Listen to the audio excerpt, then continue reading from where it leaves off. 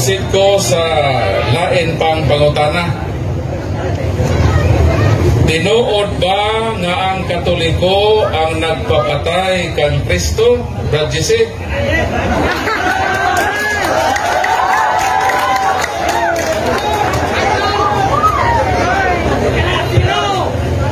Okay. Tinuod ba nga ang Katoliko mo ay nagpapatay ni Kristo? Ang tubag dili tinuod. Kay kung tinuod pa nga priso na ang tami. Ate, makapatay. Mapriso nga yan, nangawat og manok nga na bang nakapatay. Pero ito sa mga itasabot, mga isunan. Ang hitabo, maune. Oh, di na ko, di na ko sa comment kaya na guidelines.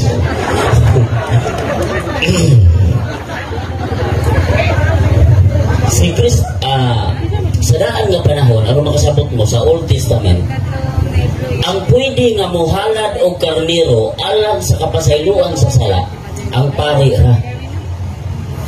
Katong Pangulong Pare, mao'y mudala sa tambok nga karnero dito sa halaran.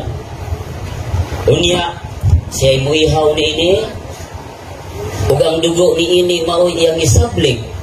Aron matabunan ang tanang sala sa katauhan sa Dios nga sakop sa pare. Way labot ang dili sakop sa pare. Karon, si Kaipas mao ang pangulong pare sa panahon ni Kristo. Di ba? Kinsay pangulong pare sa panahon ni Kristo? Sa Old Testament si Kaipas, dili si Kaimas. Kini si Kaipas ay siya may pangulong pare ni atong panahon na. Unya kay si Kristo gipadalaman sa Dios dinhis kalibutan nga mao ang tinuod nga karnero sa tanang karnero nga mao'y mahimong halad alang sa sala sa tanang katawhan. Busa ang angayan nga mo papatay kaniya mao ang pangulong pare nga si Kaipas. Ang pangutana, asa nga simbahan si Kaipas nangalagad? Sa Katoliko nga Kristyanismo o sa Judaismo sa Hudiyo? Kayso, eskwela magyuta. Sa Judaism. Hmm. Mo kay si Kristo ni atong panahon na sakop pa man siya sa Judaism, kay wa pa man siya magtukod sa iyang simbahan katoliko, kay na pa sila sa kahimtang sa Old Testament, karon si Kaipas mo ay dunay katungod. Nga mo pirma aron ang usa ka karnero nga mo ay magpapa sa sala sa kanang katawan sa tibuok kalibutan mahalad. Mao nga sa Hebreo kapitulo 2 bersikulo 14 giandaman sa Ginoo og lawas og dugo si Hesus diin man gikan.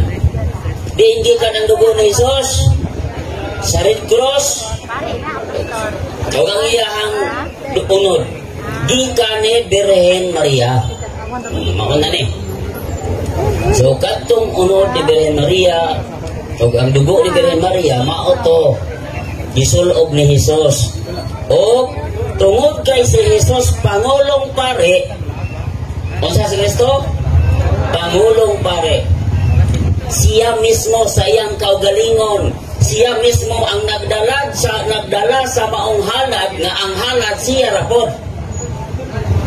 Diba? Dito sa ibabaw sa cross gilihaw ang tinuod nga karnero nga mao si Jesus nga mao ang pangulong pare. Sa ba dili pare sa katoliko. Pare sa Judaism. Kung maingon sila nga pare yun sa katoliko halay ladlad ang inyong ebidensya magkatubang kas korte Karon. Pamatudin ninyo nga pare kas katoliko ang nagpapatay. Dili pare sa Judaism. Karon. Kay naula naman ni Kristo ang iyang dugo. Kinsay nagula? Si Kristo. Unsa si Kristo? Pangulong pare. Kay og kung pulis ka, ang imong hepe pulis pod. Dili pwede mahitabo nga ang hepe sa pulis tanod. Ha? Kay kung ang pulis, kung ang tanod ba kadako, kuyaw ang tanod. eh. Mura magpulis.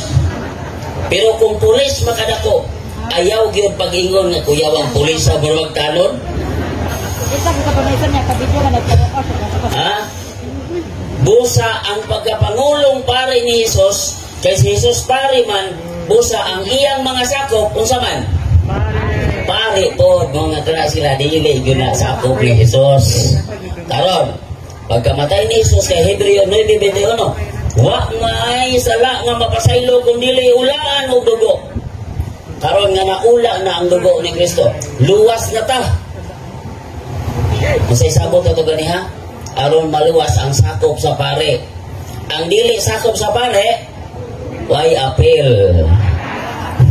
Una, pasakop na mo sa pare, kay aron ma-appeal mo kaluwas. Mag-appeal mo, mo ikaw mo labot. Ha?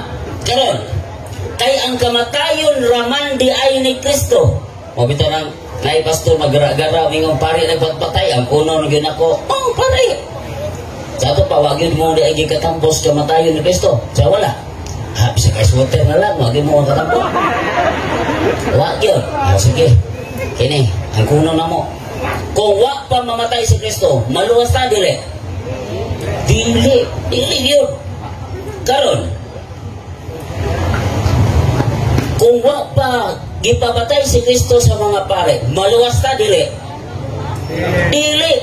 Nan, kung sila pa ang gitagliya gito gihatagan ins gi- instrumento aron maluwas ang mga tao, di man sila mosugot nga si Kristo mamatay. So sila'y magkaangin, ngalita maluwas. Ha? Munang ngumingon ko, dili ni amo, gawas ni gamay sa, gigain sa, munang ngumingon ko, mga kaigsunan, kung wa pa ang simbahan katoliko o ang simbahan nga gitugutan sa Dios ang Old Testament nga gidala sa mga Hudyo o ang New Testament sa bagong kasabutan nga mao ang gidala sa katoliko kung wa pa ni magkatambayayong mabitaw nga kaming mga katoliko di kayo na mo tanto iblin ang Judaism kay sila ang root religion sa atong reliyon kung wa pa sila wa putang mga katoliko. Ha? Mo nang mga kaitsunan nga karon kung lamang kanila ang relihiyon din eh ayaw na mo og supa nganong namatay si Kristo. Kay pagbuot sa Ginoo nga siya mamatay aron ta maluwas. Nga kung di pare magpapatay. Kinsa may mopasalig nila nga mo ipopatay sa dagan kayong salamat. Kay dagan kang pangutana Okay, thank you kayo, Brad GC, no, sa imong logical na tinubagan.